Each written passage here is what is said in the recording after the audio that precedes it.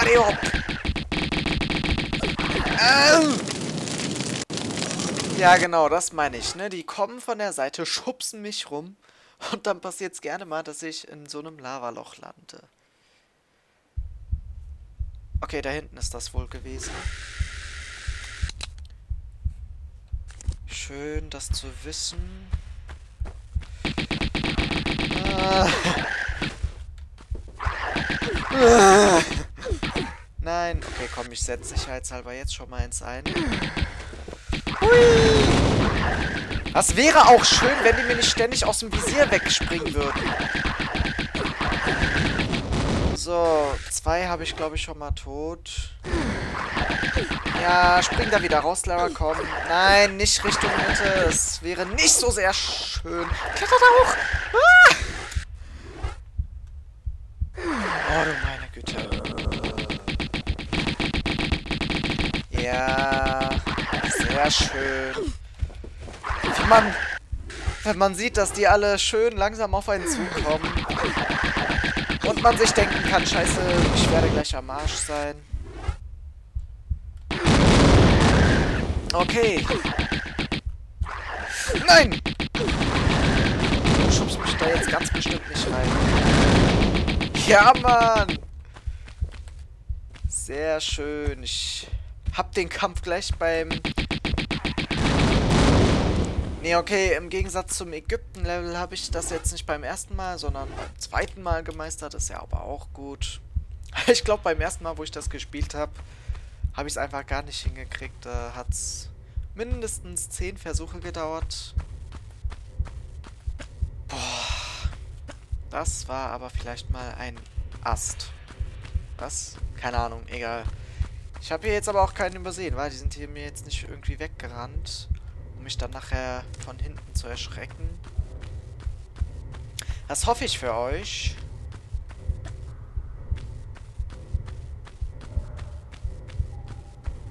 Okay. Ah, jetzt kommen wir aber in diese Räume. Äh, ja, ich glaube, ich kann drauf zulaufen, wa? Nee. Die Teile an den... Nein, du sollst nicht auf das Ei schießen. Ja, Junge. Was?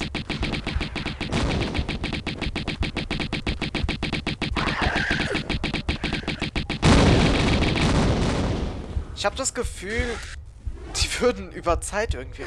Nee. Nee, das ergäbe keinen Sinn. Ah, nee, was ich gerade sagen wollte, die Teile an den Seiten, die brauchen sich gar nicht bewegen und die schlüpfen schon. In dem Fall bewegen die sich jetzt, aber... Ja, okay. Ebenso hier auf der Seite haben die Teile sich gar nicht bewegt. Okay. Ist jetzt auch egal, so. Ich kann aber auf jeden Fall sagen, wir nähern uns gerade wirklich dem Ende des Spiels entgegen. So, ich aktiviere hier einmal auf beiden Seiten die Hebel. Ja, wodurch die Tür aufgeht, aber ich wollte den Raum hier erstmal noch absuchen. Ich glaube, dass das Level wirklich nur ein Geheimnis hatte. Zumindest kann ich mich irgendwie so ein bisschen dunkel dran erinnern, dass da sowas war. Ich Weiß nicht warum, aber ich habe gerade voll Bock auf Salat. Und wieso ist die Tür zugegangen? Ist da noch irgendwas? Nein. Was sind das für komische weiße Striche, die ich da sehe? Kuckuck. Kann man da hoch? Ah, da ist eine Decke. Gewesen, glaube ich. Keine Ahnung. Ich kann das gerade irgendwie nicht so erkennen hier. Nee, komm, lass mal hier das Zeitspiel meistern, was ultra schwer zu sein scheint.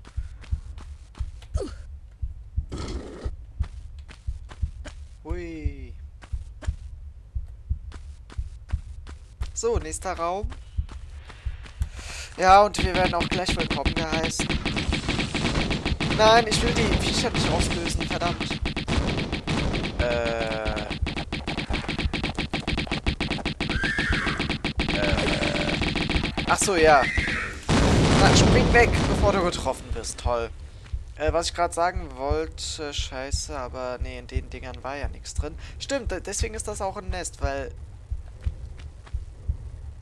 Ach, die bewegen sich ja. Okay, das finde ich irgendwie merkwürdig. Das letzte Mal, wo ich das gespielt hatte, äh, war da ein Bug oder so? Naja, egal. Ich habe gerade innegehalten, weil genau daran kann ich mich auch noch erinnern. Hier ist irgend so was Merkwürdiges in diesem Level, an dieser Stelle. Ihr seht es doch bestimmt auch. Da. Da ist ein Hotpant von Lara drin. Oder, keine Ahnung, da klebt irgend sowas hier. Das ist Laras Vorderseite. Ich kann das gerade irgendwie nicht zeigen, weil die Kamera blöd ist, aber... Da ist irgend so eine Hose von Lara drin. Ich weiß nicht, ob das ein Bug ist, ob die das absichtlich so aus Humor, aus Laune gemacht haben, aber es sieht auf jeden Fall witzig aus. So, ist da irgendwas drin? Nee, da sind auch jede Menge Hosen von Laura drin. Das macht Spaß, die Dinger kaputt zu machen. Ich weiß nicht, ich muss irgendwann mal nach einer Internetseite suchen, wo vielleicht irgendeine Erklärung zu diesem Director's Cut, also zu dem Spiel drin ist, zu den Leveln, wo vielleicht dann auch drin erklärt steht, was zur Hölle diese Lara Hotpant hier sein soll. Ah, das ist dieser Raum. Wartet, ich gucke einmal kurz da rein. Jap. Erkennt ihr die Gegend da hinten, Leute? Ich hab's doch gesagt. Das ist nämlich vom letzten Level, die eine fette Höhle. Ich glaube, so hatte ich die Folge auch genannt. Ähm, die allererste Folge von dem vorherigen Level, wo wir in der Höhle gewesen sind. Ich hatte von da aus hier rüber geschaut und mich gewundert, was das für ein Raum ist, beziehungsweise mich auch gefragt, ob das nicht das nächste Level gewesen ist. Und zum ersten Mal in meinem Leben fällt mir das auf, verdammt nochmal. Ich entdecke auch immer wieder neue Sachen hier in diesem, in diesen Tomb Raider Spielen. Okay, nur wo geht's hier jetzt bitte weiter? Sind hier Hebel oder so? Ne, warte mal. Irgendwo war hier doch so ein Gang.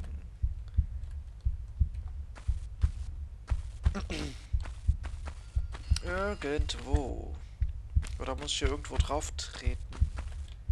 Damit irgendwas passiert. Hier, die Säule sieht verdächtig hoch aus.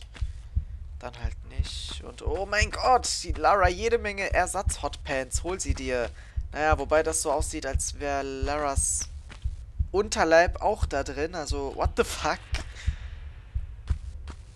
als hätte jemand, sagen wir mal Nadler, Laras Unterkörper einfach jedes Mal abgeschnitten und dahin gehängt.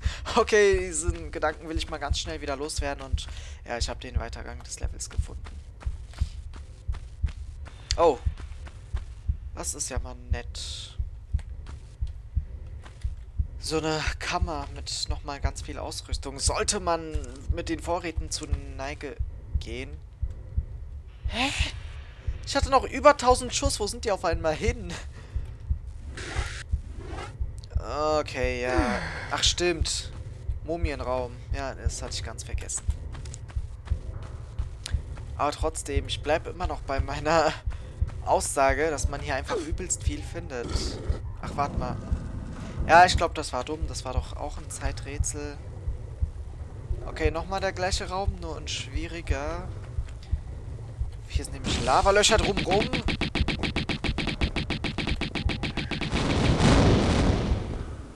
Okay, ich nehme so einiges, was ich gesagt habe, zurück, weil... Ich weiß nicht, ich schätze einfach mal, dass mein Spiel damals verbuggt war, oder was? Ja, weil die Teile, die bewegen sich, ja. Die hatten sich vorher, wo ich das mal gespielt hatte, gar nicht bewegt. Deswegen denke ich mal, dass das ein Bug gewesen ist. Oh mein Gott. Ja, in den leeren Schlupfdingern, in den, ich nenne es jetzt mal Eier, weil danach sehen die auch aus nach riesigen, fetten Eiern, wo die Teile rausschlüpfen. In denen, wo nichts drin ist, ist dann immer so ein komisches Lara-Unterleib drin. Das finde ich irgendwie merkwürdig und das Ding kann man auch nicht aufheben, wa? Nee. Obwohl das in der Mitte vom Feld ist. Ach, die tut aber nichts. Na, hör auf in Standby zu gehen, sag mal. Was ist denn jetzt los? egal. So. Ja, selbe Geschichte auf der anderen Seite. Scheiße. Holla die Wald. Das hätte ziemlich schief gehen können und ich hätte dann den ganzen Scheiß noch mal machen können.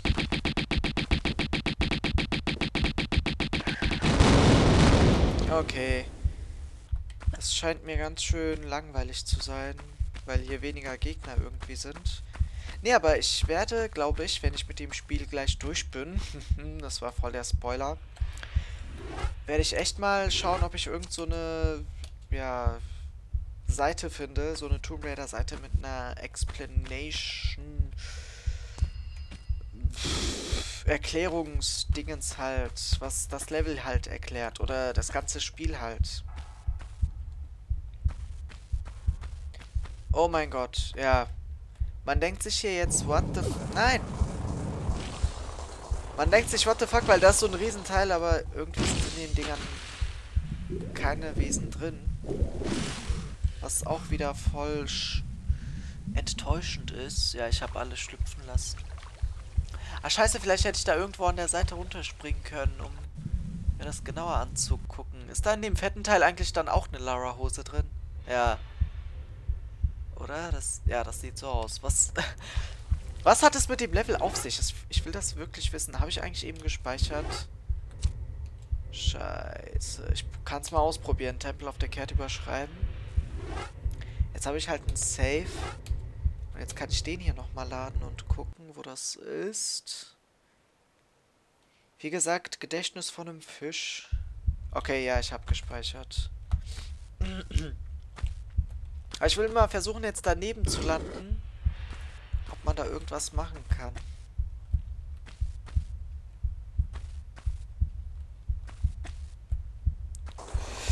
So.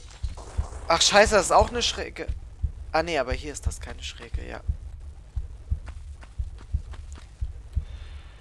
Ja, das ist wundervoll. Schade, man kann hier irgendwie doch nichts machen. Oder vielleicht auf der anderen Seite. Ich kann ja mal versuchen, rüber zu springen. Nee, wartet mal, das ist noch nicht ganz perfekt. Nein. Ja, so. Nein, okay, nein, vergiss das hier. Scheint es nichts zu geben. Ich habe auch keine Lust, das weiter auszuprobieren. Schwimmen wir weiter und wie es mir ausschaut, schwimmt Lara aus dem Level raus. Yo, Leute, das war's tatsächlich schon. The Hive, das Nest, das allerletzte Level von Unfinished Business, wo ich wirklich echt sagen muss, das kommt mir echt ein bisschen kurz vor. Also ich hatte das Level definitiv etwas länger in Erinnerung. Ich habe generell beide Atlantis-Level voll lang in Erinnerung gehabt. Ja gut, das letzte Level, das... Ja, egal. Gut, unsere Level-Statistiken in dem Level. Ich habe 41 Wesen nur getötet. Warum kommt mir alles immer so falsch vor? Ich weiß es nicht.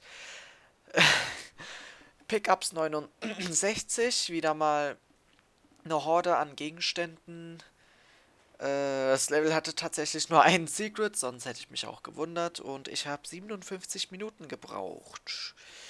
Das sind in jedem Level ganz schön hohe Statistiken, muss ich sagen. Naja, egal, Leute, das wär's dann äh, mit dem Unfinished Business Add-on gewesen. Ich drücke einmal auf Enter, um ins Hauptmenü zu kommen.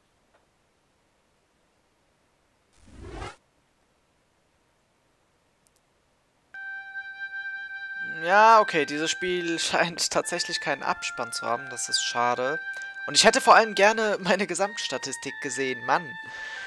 Naja gut, Leute, das ähm, Tomb Raider 1 Unfinished Business, das kleine, aber feine Add-on, wäre dann wohl somit jetzt tatsächlich beendet. Was für mich irgendwie voll schnell vergangen ist, muss ich sagen. Es kommt für mich echt plötzlich, dass ich hier schon am Ende, am Hauptmenü schon wieder stehe. Ich will gerade mal schauen, wie viele Save Games... Okay, ich habe tatsächlich 91 Saves für das ganze Spiel gebraucht. Also minus 2 oder 3, glaube ich, weil ich hatte da ja, als ich mit dem LP angefangen hatte, ein paar Test-Saves am Anfang. Ich weiß es aber nicht mehr. Und die Musik ist schon wieder so verdammt laut, aber das ist ja verbuggt, dass ich da nichts einstellen kann. Äh, und die Controls sind ebenfalls verbuggt. Nein, deswegen will ich da gar nicht draufklicken. Egal. So, was ich abschließend noch sagen möchte... Ja, dass Tomb Raider 1, ähm, also dass generell die ganze Tomb Raider 1 Geschichte somit jetzt auch beendet wäre. Ich glaube nach wie langer Zeit, auf jeden Fall verdammt langer Zeit. Mit Tomb Raider 1 hatte ich ja, glaube ich, Anfang 2018 oder so angefangen. Also es sind schon fast anderthalb, also über anderthalb Jahre schon drüber. Aber egal, juckt mich nicht. Ähm, ich finde, das Spiel hatte wirklich sehr schöne, prachtvolle, große Level. Also wirklich in jedem Level waren wirklich ganz schöne und große Gegenden mit dabei. Ich sag einfach nur die ägyptische Nacht. Das war mein Highlight. Ich glaube, der Tempel der Katze, es war auch wirklich mein Lieblingslevel vom ganzen Spiel.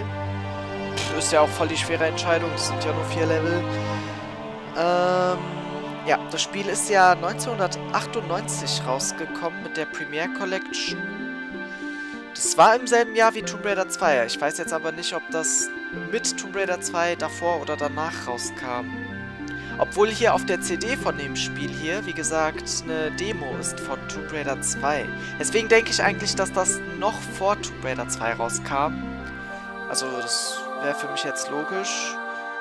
Ist, glaube ich, auch besser so, weil wenn Core Design zwei Spiele gleichzeitig rausgebracht hätte, dann wäre die ganze Menschheit überfordert. Naja, und abschließend noch, was ich als nächstes Projekt so plane. Das habe ich euch eigentlich schon mehrmals, unter anderem in einem Infovideo spekuliert, aber ja, das werdet ihr noch sehen. Ich muss da noch irgendwie schauen mit Testaufnahmen und so, ob das alles läuft. Aber Leute, ich würde einfach mal sagen, alles Weitere erfährt ihr dann halt im Laufe der Zeit. Und ich sage jetzt einfach mal, passend zu der Musik, die gerade auch aufhört, Ciao und bis zum nächsten Let's Play-Projekt. Hoffentlich alsbald.